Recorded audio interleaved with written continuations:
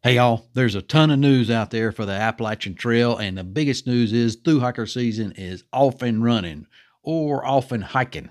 So let's dive right in. I'm Ramdino, and I'm here to bring you everything that's going on with the Appalachian Trail news and what's going on with the through hikers out there. So we had our first through hiker from our sponsorship list that has kicked off and has left Amicalola Falls. He did uh, the approach trail. Of course, portion of the approach trail is closed, uh, but he stepped off, and that is Matthew. He's on our support list there, and he has made it on trail, and he checked in at 8 a.m. on January 1 as the very first number one hiker registered for 2024. Said his pack weight was in at 40 pounds, so that's pretty pretty respectable pack weight there. Uh, but that is a winter weight going on, so we'll see how that slims down as he goes throughout the course of it. But he has made it to Neels Gap and is uh, heading on up. Uh, continuing on north, and he's pushing, trying to get to a shelter uh, before this weather comes in in the next couple of days.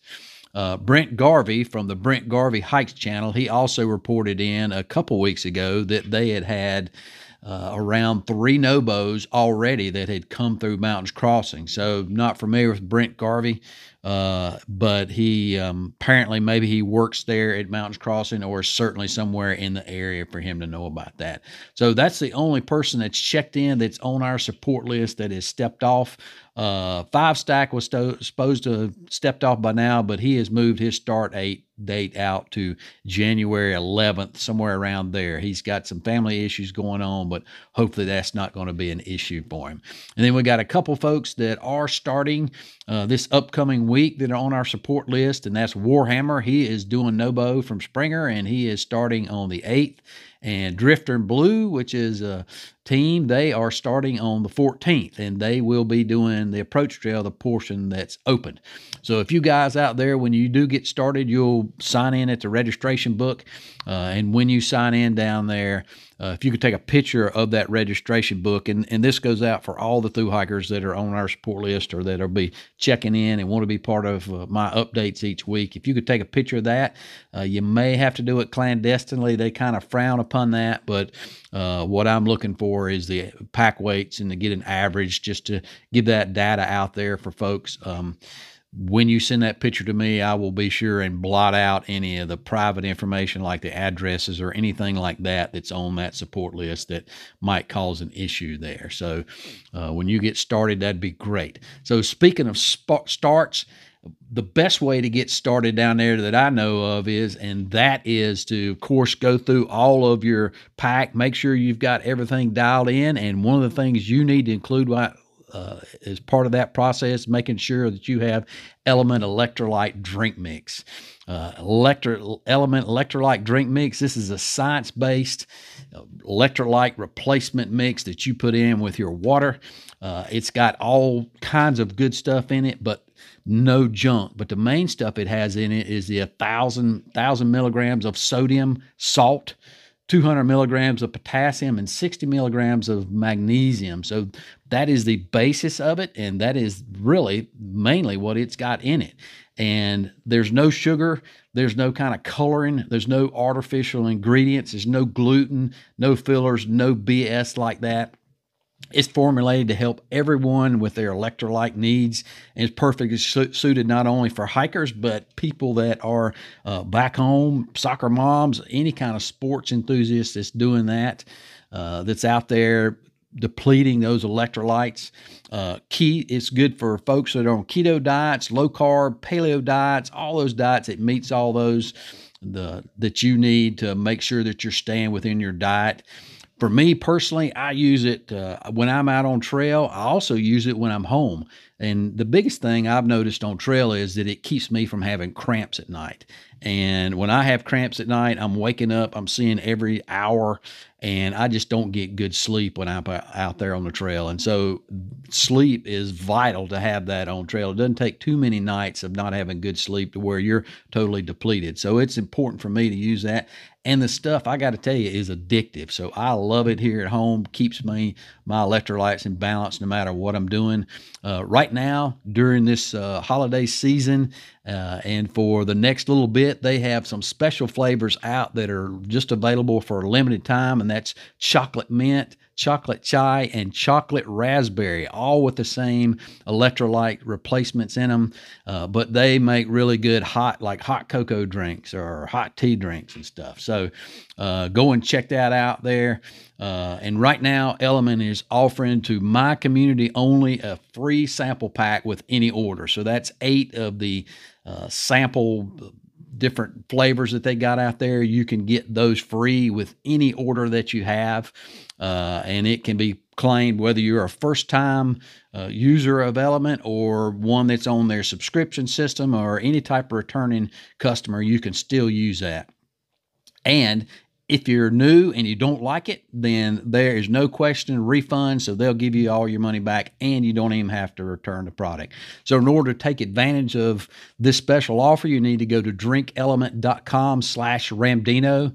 Uh, and that's available only through that link. So that's D R I N K L M N T dot com slash Ramdino. So go and check that out. Go and let me know if you go and uh, do that and what your thoughts are on uh, LMNT Drink Mix. I love it. I think you will too. Now, let's get back to what's going on with the through hikers out there. So, we've got a, about 71 folks that are on our support list. Uh, if you're a through hiker and you'd like to be on that support list, the link is down below in the description section to go and place yourself on that. And of course, if you're part of the hiker community and you're looking for folks to support, looking for folks to go see their social media, then that link is down in the description section as well. Uh, hope you'll take advantage of that and go and support these through hikers all the way throughout the course uh, of their trip. So some stats we've got for you uh, since our last update. Uh, last update we were at 1,294 Sobo, and now we've gone up 204 Sobo. Uh, I'm sorry, Nobo we were at 1294 Nobo, and now we've gone up to 1,498. So that's an increase of 204 Nobo uh, over our last update. Sobos, of course, it's a little early for them to be registering right now, but we have increased by 14 uh, hikers from uh, from 55 to 69 uh, on the flip floppers, and then for Sobo, it's a little early for them as well, and we have increased about nine from 30 to 39 Sobos. So uh, we have a total increase in registrations from hikers from last week of 227 uh, hikers that have uh, that, that have registered for their through hike. Uh, March 1 did reach its max capacity, so the trail is maxed out according to the ATC, and that's more than 50 hikers starting their hike, and uh, that's on March 1st. Of course, April 1st is is really close behind with about 49 hikers, so uh, there'll be several days in there when we will broach that 50 hiker amount that the ATC sets as the maximum carrying capacity. That doesn't mean that they won't register more. Uh, if they have 100 hikers come in on a day, they'll they will register them. And, and just remember, these registrations I'm getting are directly from the ATC website. So a lot of folks don't register their hike. A lot of folks register their hike for the first time when they get to Amicalola Falls State Park and get checked in. So these numbers will increase as we go up. And somewhere anywhere around 10% to 25% of folks don't actually register their hike at all. So you can see the trail's getting already getting pretty crowded down there. Now, even though it's getting crowded and even though we got a lot of registrations, it we're still on a downward trend for red for registrations compared to what we've had in years past. So in years past, we've just uh, you know, uh, 2021, 2022, those were big years, uh, probably because people were had pent up demand out there due to COVID and having to get off due to COVID, or not even starting their hike due to COVID, and so uh, now you know they wanted to get back on and wanted to get that done while they could, while they were still in cases of uh, older people, while they were still had their health. Um, but in any case, uh, we are looking like we're on a downward trend there. So we'll see if that continues throughout the, uh, the rest of the year. So I want to give a shout out to a couple folks that uh, supported the channel through the super thanks function down below, and that's Middle Sister Hikes and Joe Peters 5796. So thank you to both of you folks for supporting the channel with the super thanks down there. Of course, you can support the channel the channel through super thanks, become a Patreon member, and of course, you can also go to my uh, merch page there and you can uh, find that uh, there in a link down below. Uh, in all those ways, support merch. I had uh, Valine 178. She said she loved the merch store and now she just needed to decide what she wanted to buy. So thanks a lot, all those folks, for supporting the channel. Anything you can do to support the channel and help me support the Through Hiker community and the hiker community in general uh, just helps me out tremendously. So we got a ton of news out there. Uh, Whispers is our northern correspondent, and he sent in that the Katahdin trails now have opened. So if you're a Sobo out there and you want to go ahead and get an early start on it, then you can go ahead and get up there uh, to Katahdin and start there at Katahdin at the sign and go ahead and start your Sobo. Now, just keep in mind, it has been very cold up there. It's below zero temps on Katahdin this weekend, and they've had some precipitation as well. Um, so what opening means now is so of course Katahdin closes at uh, when it gets so wet up there in the fall and in the winter before everything freezes over that they're concerned about the high alpine environment being damaged by hikers so they shut all the trail systems down to where nobody can access Katahdin uh, up there just to protect uh, the environment. But once it gets frozen over, snowed over, iced over, then there's no worries about that because you're not going to be trampling on the uh, the precious plants and the alpine environment that they have there. So they open it back up. Don't have a lot of subos that start because it's so cold up there and because conditions are so, uh, I mean, they can be actually deadly up there. Uh, but we have had sobo that have started in the past this early. So uh, I believe Aquaman from two years ago, he did that. And then I think, I'm not sure if we had horsepower, if he was sobo or not. But in any case, we do have people that start early. Uh, and so that is not that unusual. And then Ewok, she's a subscriber, and she sends in that she experienced a glitch on her iPhone and her Far Out app.